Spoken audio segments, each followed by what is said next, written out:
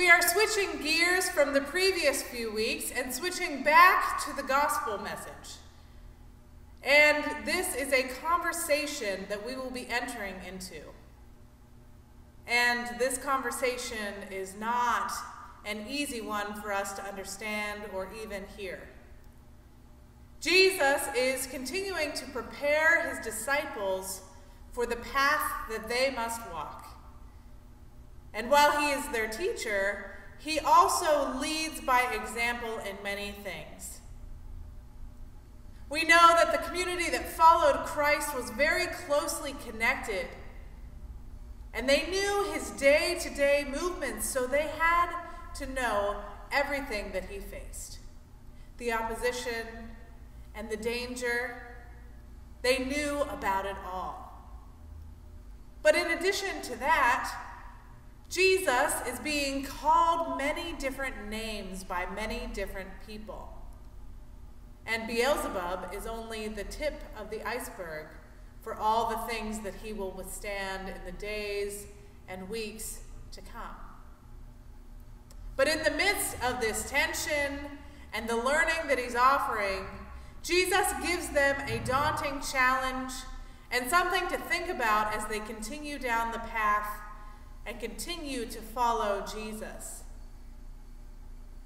Knowing all of this, let us listen closely to the gospel message as it comes to us from Matthew chapter 10 verses 24 through 39. A disciple is not above the teacher, nor a slave above the master. It is enough for the disciple to be like the teacher, and the slave like the master. If they have called the master of the house Beelzebub, how much more will they malign those of his household? so have no fear of them. For nothing is covered up that will not be uncovered, and nothing secret that will not become known. What I say to you in the dark, tell in the light. And what you hear whispered, proclaim from the housetops. Do not fear those who kill the body, but cannot kill the soul. Rather, fear him who can destroy both the soul and the body in hell. Are not two sparrows sold for a penny? Yet not one of them will fall to the ground apart from your Father. And even the hairs of your head are all counted. So do not be afraid. You are of more value than many sparrows. Everyone, therefore, who acknowledges me before others, I also will acknowledge before my Father in heaven.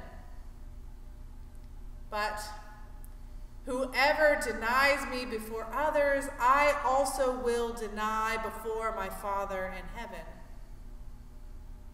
Do not think that I have come to bring peace to the earth. I have not come to bring peace, but a sword. For I have come to set a man against his father, and a daughter against her mother, and a daughter in law against her mother in law. And one's foes will be members of one's own household. Whoever loves father or mother more than me is not worthy of me. And whoever loves son or daughter more than me is not worthy of me. And whoever does not take up the cross and follow me is not worthy of me. Those who find their life will lose it. And those who lose their life for my sake will find it. This is the word of the Lord. Thanks be to God. Please join me in a time of prayer. Holy One, you challenge us to look at ourselves, to examine our faith. Help us to focus on the right part. And to that end, may the words of my mouth and the meditations of all of our hearts be acceptable in your sight. O Lord, our rock, our strength, and our Redeemer. Amen. I don't know about you, but I find this text very challenging for us to work through, especially on a day like Father's Day, when we are meant to be celebrating those familial relationships that connect us one to another.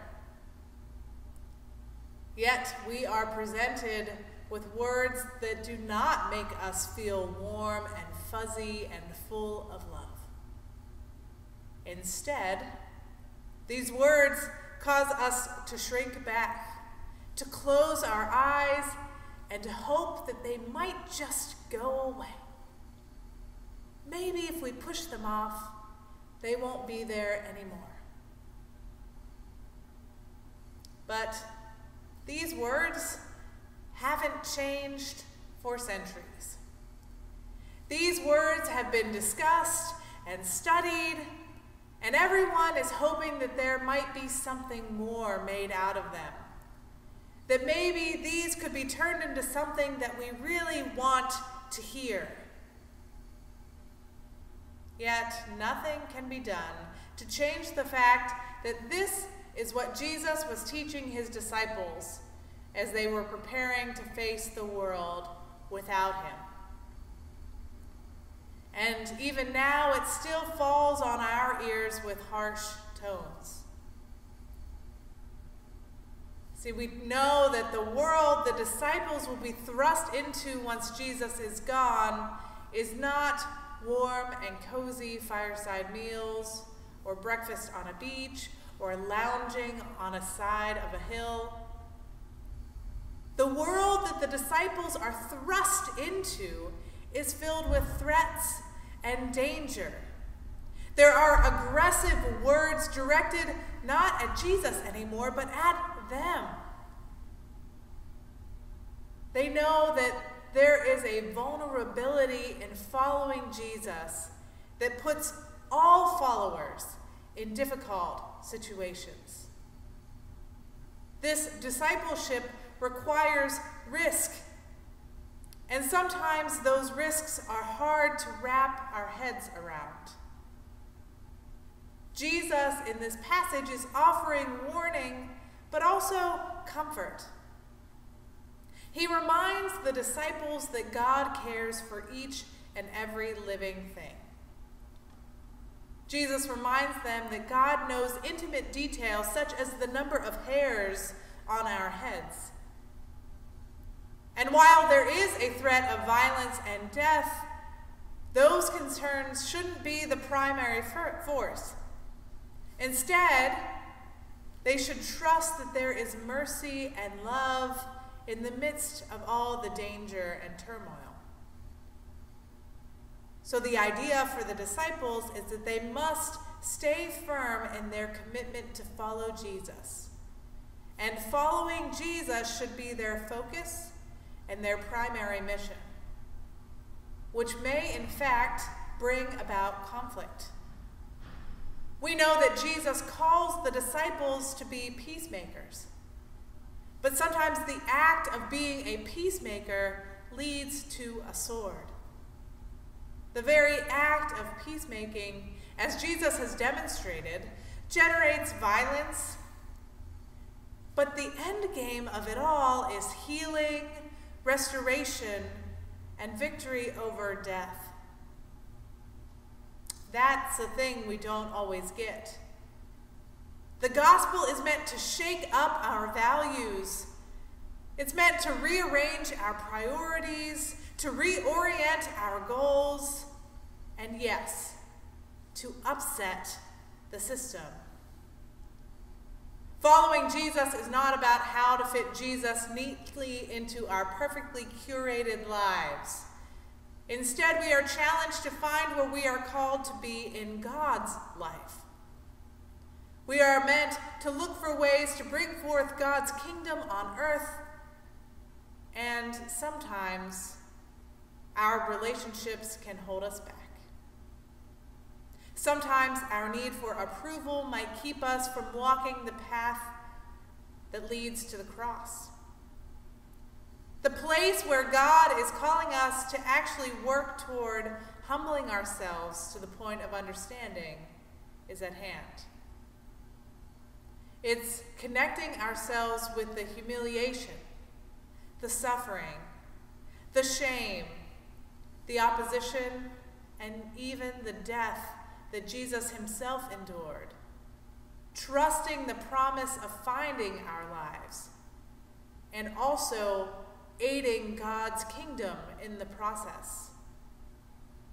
In moments such as this, we are called to be the people who do not follow systems just because they are there. We must examine what has been put in place and then hold it against the words of Christ, against the justice of God.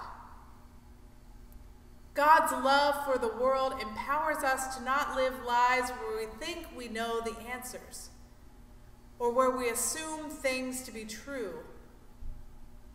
Kingdom work is not for the faint of heart. It is for those who are ready to follow Jesus wherever Jesus may take them.